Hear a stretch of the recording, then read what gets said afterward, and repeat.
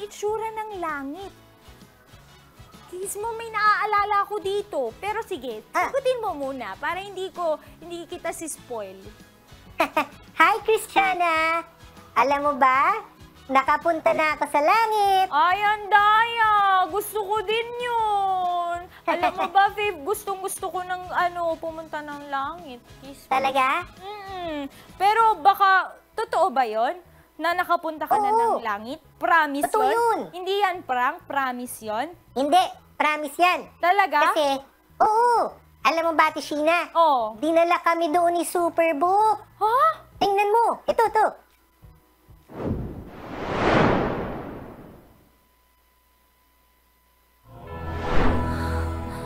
Yes? Nasaan tayo? Hindi ko makita kung nasan tayo o kung anong panahon.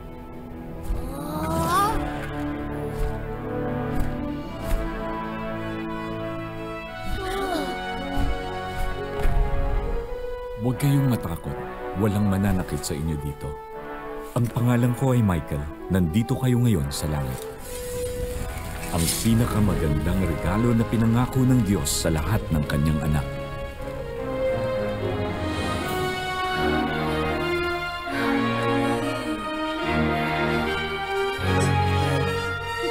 Napaka ganda dito. Wow! Gizmo! Nakita mo pa pala si Angel Michael, no? Aha, alam mo, Ate Sheena? Alam mo, Christiana? Nahirapan yung geosensors ko. Mahirap sabihin ng eksakto kung anong itsura ng langit. Hmm. Pero, isang bagay lang ang napakalinaw. Napakaganda at saka kahanga-hanga. Wow! Hindi gusto ni Lord na mapunta tayo sa hell, di ba, Ate Sheena? Oo, alam mo, i-imagine ko nga yung ano eh, yung, yung langit merong streets of gold. Wow! Sobra, di ba? Ang ganda. Oo. Tapos sa hell, kung kukumpara mo, puro pain tsaka suffering. Tapos sobrang init, Oo nga eh. Diba? Dito nga mainit na, hindi mo na kaya eh, 'di ba? Nag-overheat ka na nga eh. Tapos sa hell. diba, no? oo. Pero, thank you, Lord, kasi niligtas niya tayo. Niligtas tayo ni Jesus para makasama siya sa paraiso. Yay! Thank you, Lord! Yay!